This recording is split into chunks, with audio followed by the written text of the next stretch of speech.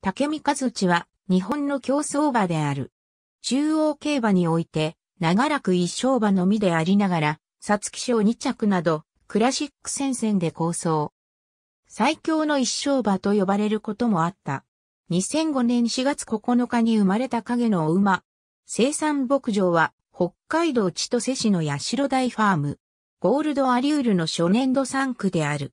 大江原明厩舎の管理場。馬名の由来は日本神話に登場する神、竹見和地のから取られた。馬主は、クラブ法人の八代台レースホース。募集価格は、総額2000万円であった。2007年7月、夏の新潟開催でデビュー。上がり3回33秒0の末、足を見せ、芝1600メートルの新馬戦を勝利する。大江ゲーンは、この馬はメインレース以外使うところはないと感じたというが、その後は2歳、3歳の重賞戦線で前線を見せるも長らく勝利には届かず、最強の一勝馬と呼ばれることもあった。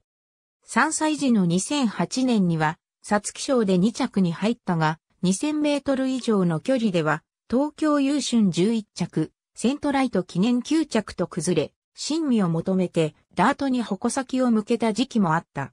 2009年4月5日、一番人気で出走したダービー今日チャレンジトロフィーを勝利して2勝目。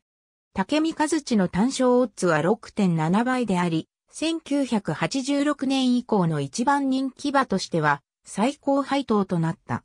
その後は股関節痛による長期休養もあり、3勝目を手にすることはできなかった。2010年6月、放牧先の山本トレーニングセンターで戦痛を発症。出血性大腸炎により6月30日に死亡した。通算19戦2勝。ありがとうございます。